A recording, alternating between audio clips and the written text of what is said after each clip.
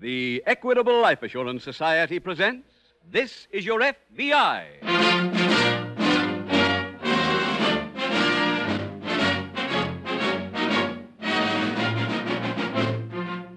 This is Your FBI, the official broadcast from the files of the Federal Bureau of Investigation. Presented transcribed as a public service by the Equitable Life Assurance Society of the United States and the Equitable Society's representative in your community.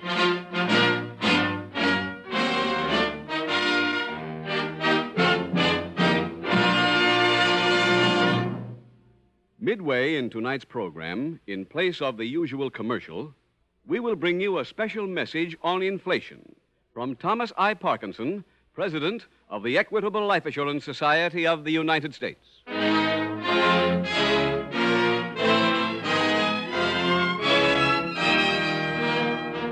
Tonight, the subject of our FBI file Hijacking. Its title Captain Larceny.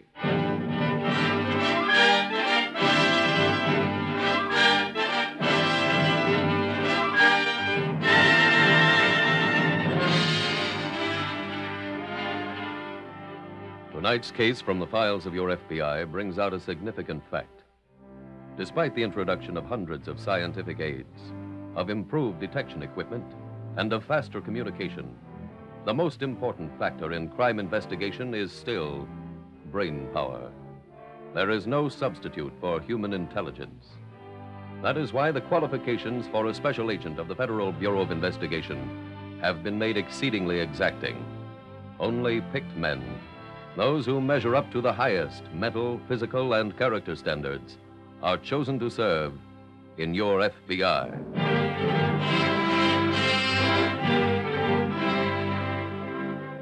Tonight's file opens in a waterfront saloon as the bartender serves a customer a drink. Here you are, that's four bits. Four bits. What do Right. you do with a drunken sailor? What do you do with a drunken sailor? What do you do with a drunken sailor? Early in the morning. Fetch me a handful of rye whiskey, Georgie boy. Right. Hmm. Well, don't distill the whiskey, son. Just pour it. Coming up. Gentlemen, to the sea.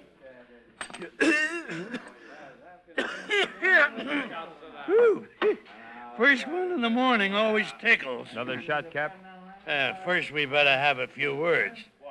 Matey, inside this box, I have a camera. A movie camera. I'm sorry, Cap. I can't handle any more stuff. No, but, mate, when I brought you that silk last week. I know, I know. I asked for some cameras. I can't use them now. The guy I was selling ain't interested. Well, look, all I want for it's a drink. Hey, bartender.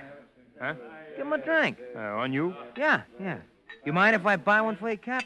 Oh, do you want the camera? No, no, no. I just hate drinking alone. Well, that's mighty sweet of you, boy. Well, thank you, mate. Thank Uh, I'll take one too, huh? Okay.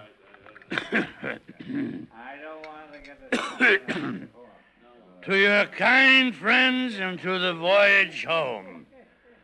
Oh, good whiskey and good friends. What can we do with the drunken sailor? Oh, wait a minute, What wait, wait, Cap, wait a minute. How'd you like that drunken some company, sailor? What can we do with... Hey, wha- hey, what's this? Well, hello there. Well, that sounds good. Say, you play that thing, huh? We ought to do fine together. Not at the bar, you can't. You're gonna sing, take your drinks in the back. Okay. Come on, Cap. Oh, bartender, bring a bottle back to the table, huh? Right. All right, Cap, let's go. Oh, heave ho and up she rises, heave ho and up she rises, heave so and up she rises.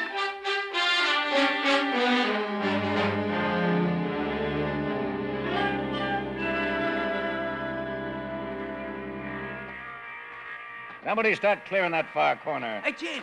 We got a couple of more trucks coming in today. Gene, Gene. Scotty, I told you to stay out of here.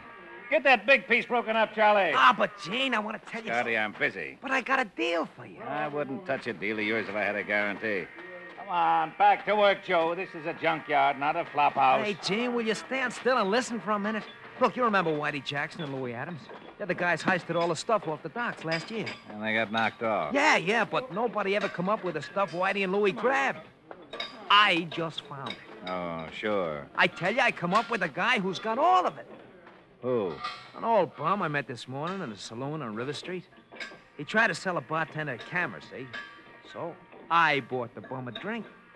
He thinks he's a captain on a boat, so I played the harmonica while he sang some songs about sailors. Each time he took a belt, I asked him if he had any silk or radios or the other stuff I remembered Whitey and Louie grabbing. He's got 'em all. Where? That's what we gotta find out. We? Yeah. I bought him a bottle, left him in a joint. He's waiting for us. Well, what do you say? You want to see him? Well, okay.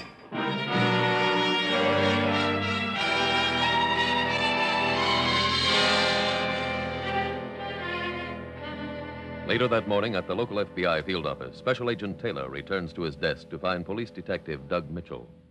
Oh, Doug, you waiting for me? Yes, Jim. Well, grab a chair. Thanks. I saw your agent in charge, and he said to work with you. Oh, on what?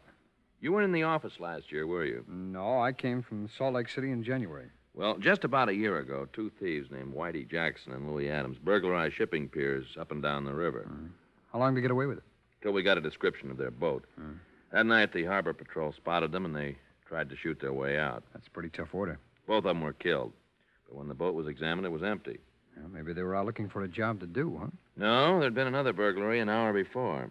Well, Doug, could they have gotten back to home base and dropped off the loot? Mm, yes, but from papers in their pockets, we located their drop. That was empty, too. Why all the uh, sudden activity on the case now, Doug? None of the loot had ever turned up till last night. Oh. Found a couple of pieces when we raided a wholesale dry goods store on the north side. They were from an interstate shipment. Well, that gives us jurisdiction, all right. Yeah. I've interviewed the shopkeeper. He says he bought these particular items from a bartender who works on the waterfront. No name? No, but he did give us a description. Well, Doug, there's quite a few saloons down there. My office is trying to check all of them now, Jim. Oh, fine. If they get a lead, contact me. Right.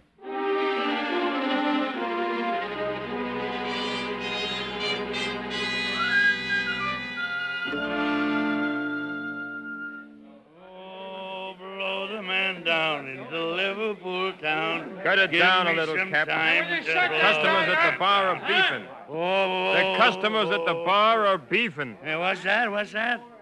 Customers are beefing. Well, you tell those bar beefing customers that it's Captain Crawford doing these sea shanties. You tell them about me, will you? Tell them about me being the old skipper of the greatest ship ever. Cap, they don't care, and I'll tell you something, neither do I. Oh, is that so? Oh, so you let a man sit here and go out? Well, all right. Go ahead. I see somebody coming who does like my singing. Welcome aboard, mateys. I told you I'd be back, Cap. Hey, before you two sit down, keep him quiet or get him out. Yeah, sure, sure. He'll be okay. Uh, Cap, I'd like you to meet a friend of mine. Hiya. Oh, hello, friend. Welcome. Welcome aboard, friend. Sit down. Come on, sit down. Yeah, sure. You still got your mouth organ, matey? Yeah, yeah, but first my friend here wants to talk to you. Oh, about the time we were three days out of Memphis. No, You no, no, know, no, no, no. When he, the he river wants, was he wants mean. to talk about something else. Captain, I hear you know where I can locate some silk. Oh, who, silk? if I wanted to, I could show you so much silk, you'd think I was a silkworm. you know, in those days in Memphis. Uh, Cap, Cap, please, let's stay with the silk, huh? Yeah, where is it? It's on my ship. You got a ship? What? What, what, what do you mean? What, what, what, don't you believe me? No. Well, what do you think of. Say, wait a minute. Now, minute. wait, wait, Cap. Now, hold on. Cap, I've wait got a it. minute. There's only one way to prove it. Well, I'll- Show it to him. I'll prove it. Certainly, I'll show it to him. I'll show him. If somebody will just whoop or kindly help me so I can get up here, will you? Now I'll have you both piped aboard.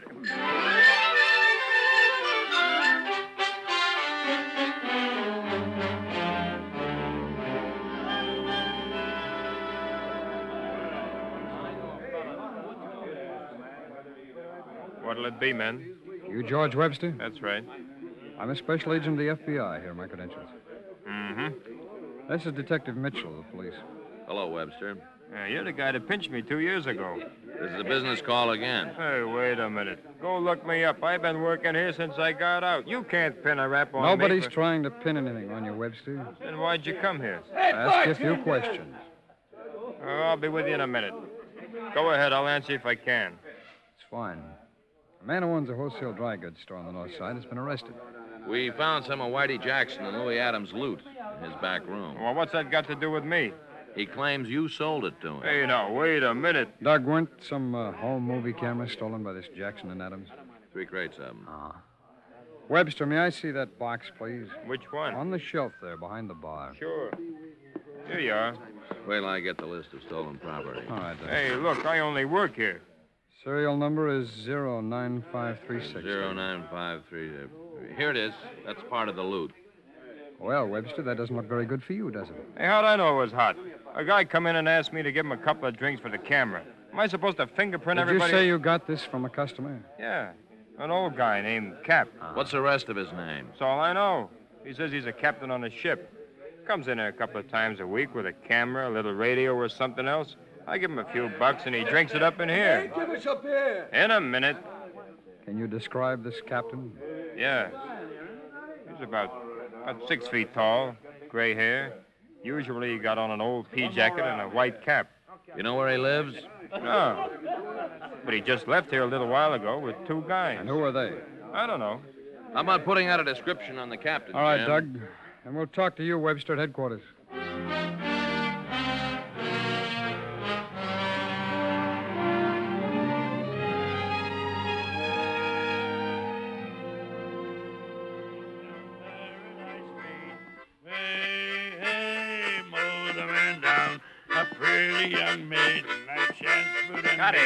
Scotty! Yeah, come back time here. to blow the man down.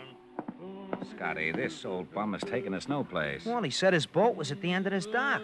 Hey, Cap! The man down. Cap! Ahoy! Yes, matey. You know where we're going? Sure thing. That's my ship dead ahead. Does he mean one of them old freighters? I guess so. They deserted. They've all been tied up here since the war. Come on, mates, up the gangplank. What kind of a deal is this? Oh, Look, Jane, we followed him this far. I'll guarantee you there's no loot. Well, we can always get out with the freighter. How? Well, one of them would make enough scrap to fill your junkyard. Scotty, you can't heist a freighter. Why not? Nobody around counting them. Hey, come on up, mates. Come on, let's follow him. What can we lose? Well, here's where we wind up getting nailed for trespassing. Well, gents, I'm sorry that none of my crew were here to pipe such distinguished visitors aboard my ship. They all desert you, Cap? No, no, I gave them all shore leave. Then, uh, you're alone here, huh? Yeah, that's right. Come on, let's go in my cabin. Come on, Jane. We'll see what he's got in there. Mateys, come on, boys, join me inside. This thing will probably sink before we get off it. Gentlemen, after you, after you, mateys. All right, go ahead, Jane. Okay. Now, just make yourself shipshape. Mm. Hey, Jane, look over there by the wall. Bolts of silk cameras. Yeah. What'd I tell you, huh? Hey, Cap, Yeah. you got any more of that stuff over there around the boat? Did you say boat? Young fella, ship. Never say boat. You understand? Ship. Okay, okay. I won't. Look, you got any more of the silk around or those cameras? Oh, sure, sure, sure. Yeah, boy, here's the camera. Filming it, too. Come on, take it. Oh, we want to know if you got more stuff someplace else. Oh, jeez. Lots of it, lots of it. The hole's full up. With silk and cameras? Yeah. Matey, you got that mouth organ with you? If you have, come on, let's have a tune. As I was Scotty, walking let's down get back to the yard and pick up a Paradise truck. Street, Okay. Oh, come on, come on, play me some music. A pretty young maid. we do about him? That's easy. Oh, oh. That's for the loot. And that's as a music lover.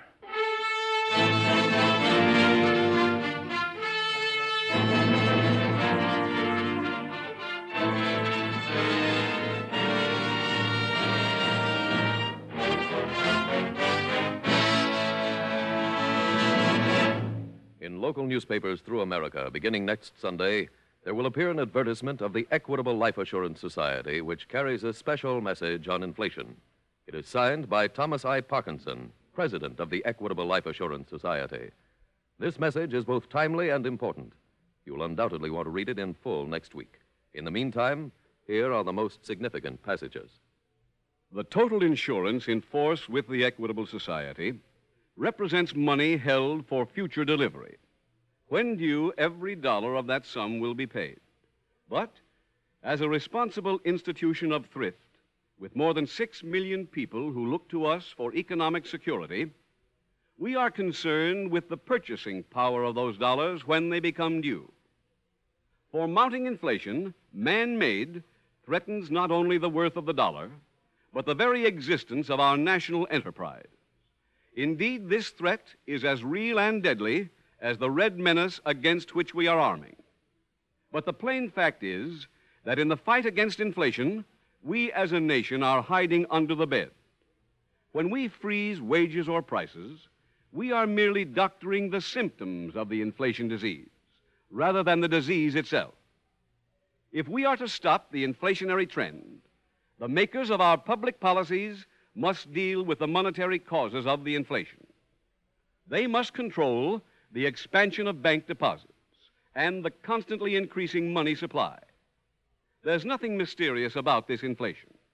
More and more, people are beginning to realize that the stories they read on the financial pages of their newspapers have a direct relationship to the prices of food, furniture, and other living essentials advertised in the same newspapers a week later. Inflation is everybody's concern, from the Wall Street banker to the Missouri housewife. In the fight against it, the American people, you and your neighbors, must learn to look beyond the local grocer's bill and the meat prices in the butcher shop. You must look to Washington, the seat of our government, where the monetary policy is made. More than that, you must make your own voice heard among the lawmakers. Congress should be interested in your views on inflation, and your congressman is as close as your nearest mailbox or telegraph office. Let me repeat if we are to stop this inflationary trend, the makers of our public policies must deal with the monetary causes of the inflation. They must control the expansion of bank deposits and the constantly increasing money supply.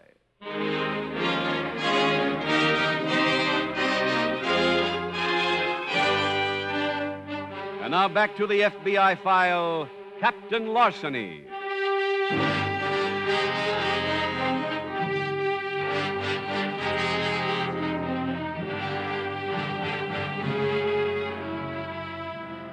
The opportunity to commit crime in one form or another is actually part of the daily lives of every one of us. Indeed, criminals are distinguished from good citizens not by any greater opportunity for crime, but mainly by the criminal's failure to resist temptation. Admittedly, resisting is sometimes difficult, as it must have been in the case of the sea captain in tonight's story. Yet, had he done what he should have, had he notified the police when he found the loot on the freighter, he would have saved himself from physical assault.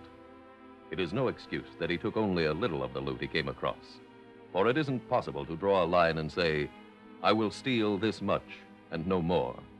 For if tonight's case teaches any single lesson, it is this crime prevention begins at the tips of our own fingers.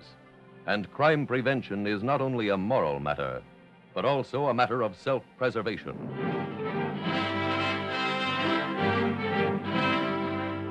Tonight's file continues at police headquarters where Special Agent Taylor is interviewing the suspected bartender. Webster, how about going over those pictures again? That's no use. You gave us a description on the captain, so I'm inclined to believe that he's an actual person. He is. But those other two men, you can't find their pictures. You can't tell us their names, and you don't even remember what they look like. It's true. I've seen him around, but I... Oh, hello, Doug. Anything in on that alarm? Oh, not a word. How you doing here? Well, he either can't or won't give us any more help. I'm inclined to think. wait a minute. I don't know whether this will help or not, but about a week ago, Cap came in and showed me a tattoo on his arm. No? It was a picture of a ship. He have any special reason for showing it to you? Yeah, he said it was new. Did he say where he had it done? Someplace on Main Street. Well, that might give us a lead.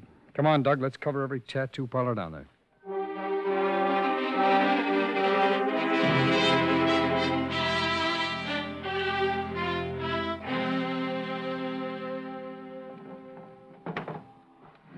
We ain't got all day, Scotty. Yeah, but this stuff is heavy. Throw it on. Let's get this truck out of here. All right. Now, that's the load. Grab that other door. Okay. Come on. Oh, wait, wait. I'll be right back. Where you going? Well, my harmonica's still in the captain's cabin. Leave it there. That thing cost me 40 clams. All right, do what you want. I'm going. All right, forget it. Get in on this side. All right. How much you think we got? And both loads, about 10 G's worth.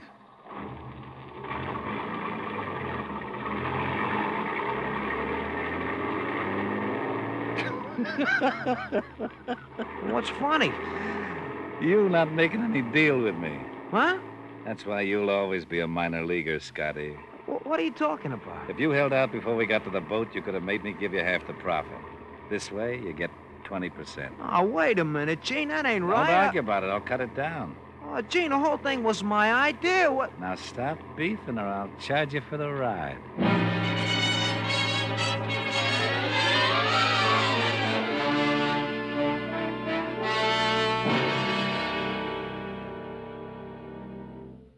Come in on the captain, Doug? Not yet, Jim. We may find him anyway. I had some luck. Captain went to a tattoo parlor at Main and Broadway. Told the operator there his name was Crawford. And part of the tattoo was the name of his ship, the SS Peter Simon. Oh. You checked the ship's registry? Yeah, the SS Peter Simon's a freighter that's been mothballed since 1946. Hmm? And nobody named Crawford was ever the captain on it. Where's the boat now? Uh, registry's checking that. I questioned Webster again when I got back. No? You remember anything else? Not much. One of the men who left with the captain played a harmonica. Oh? Oh, uh, pardon me, Jim. Sure. Detective Mitchell. Yes, yes, that's right. It is? Oh, fine, fine. Thanks for calling. The SS Peter Simon's tied up at Cliff Point. I'll ask the 20th Precinct to send a couple of men over to the pier. Fine. Let's get up there ourselves.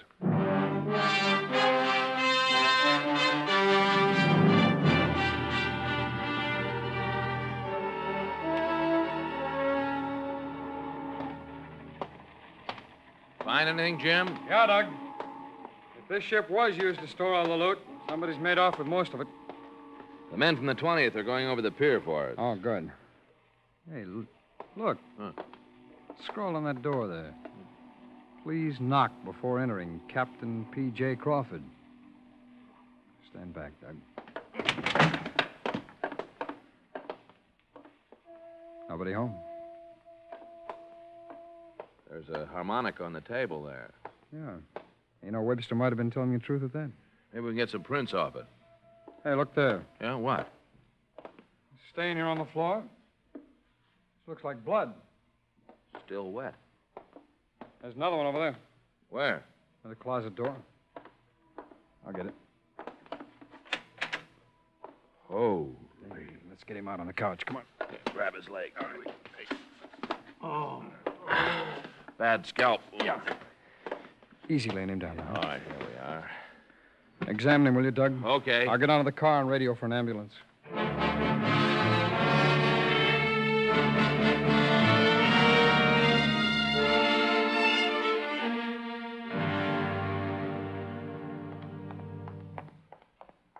Chanchimino.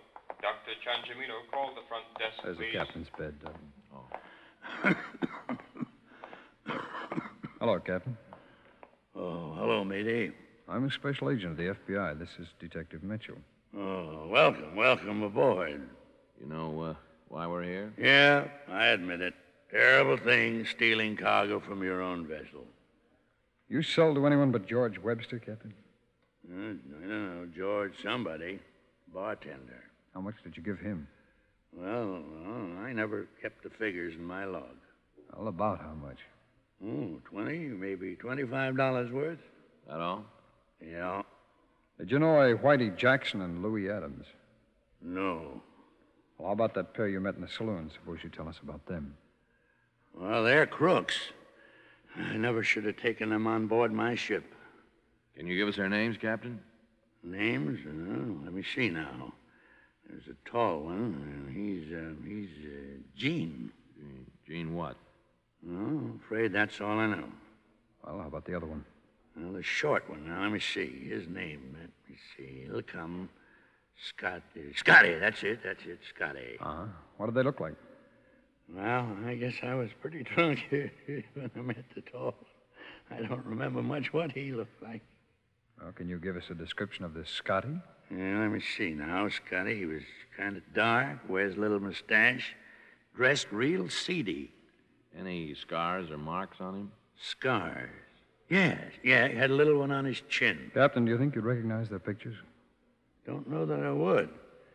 Now, if I was to hear that short one just play that mouth organ, then I'd be sure. Scotty is the harmonica player? Oh, plays it sweet, too. Mm. Well, thank you, Captain. Come on, Doug. Where to? Let's find a phone.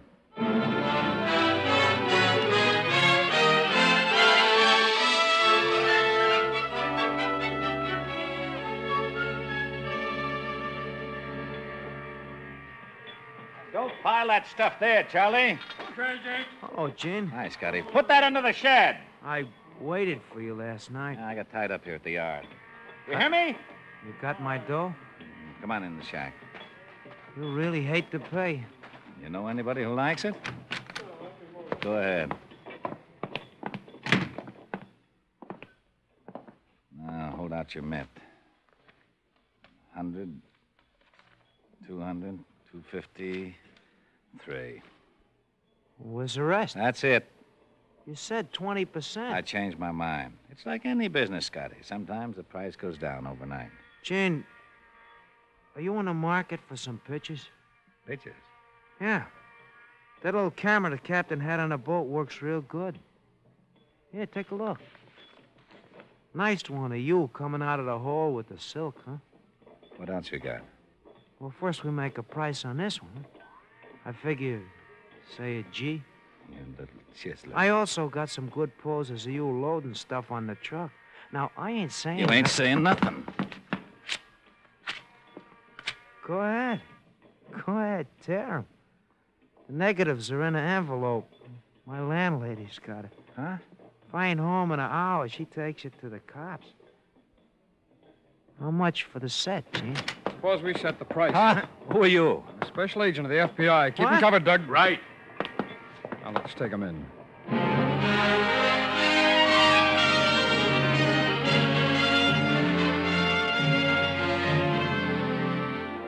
Gene Fulton and Larry Scott were turned over to state authorities and prosecuted for assault with intent to kill. Each received a 10 year sentence. When Special Agent Taylor learned the man called Scotty was the one who played the harmonica and that he dressed in seedy clothes, it seemed reasonable that anyone owning an expensive instrument might pawn it when he found himself short. A series of phone calls to the city's pawn shops revealed a man answering Scotty's description was a regular customer. The pawn shop supplied his address, and at the rooming house, Agent Taylor and Detective Mitchell learned from his landlady where Scotty had gone.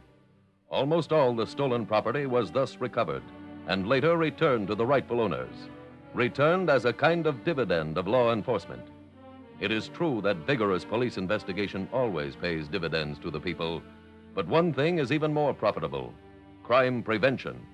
Practice it and see. The incidents used in tonight's Equitable Life Assurance Society's broadcast are adapted from the files of the Federal Bureau of Investigation.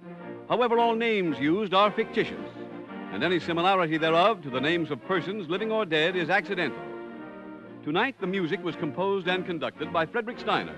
The author was Jerry D. Lewis. Your narrator was William Woodson, and Special Agent Taylor was played by Stacey Harris. Others in the cast were Jim Backus, Anthony Barrett, Ed Begley, Walter Catlett, and John Mitchell. This is Your FBI is a Jerry Devine production. This is Larry Keating speaking for the Equitable Life Assurance Society of the United States and the Equitable Society's representative in your community, and inviting you to tune in again next week at this same time when the Equitable Life Assurance Society will bring you another thrilling transcribed story from the files of the Federal Bureau of Investigation the Hollywood Shakedown on This Is Your FBI. Stay tuned for the adventures of Ozzie and Harriet. There's fun for the whole family when Ozzie and Harriet come your way next. This program came to you from Hollywood.